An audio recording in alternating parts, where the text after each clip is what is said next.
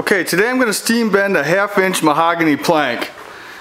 I've got the old plank sitting here on a jig that I made and I'll walk over to the boat. It's a 19 foot Capri and we're replacing just one bottom plank in it but it's the it's the on the starboard side it's the garboard plank